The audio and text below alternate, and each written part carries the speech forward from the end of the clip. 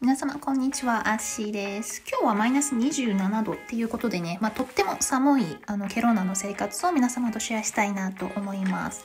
はい、これ朝起きたら、まあ、まず一番にすることが雪かきですね。15センチぐらいこの日は積もっておりました。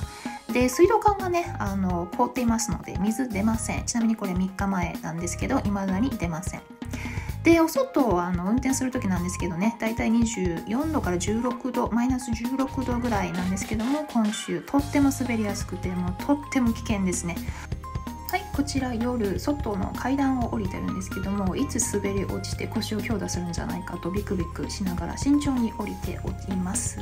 はい吹雪ですね当たり前ので今日は天気が良かったんであのまあ雪が減るかなって思ったんですけど雪が溶けて夜にはもう氷になっておりました。余計危なかったですね。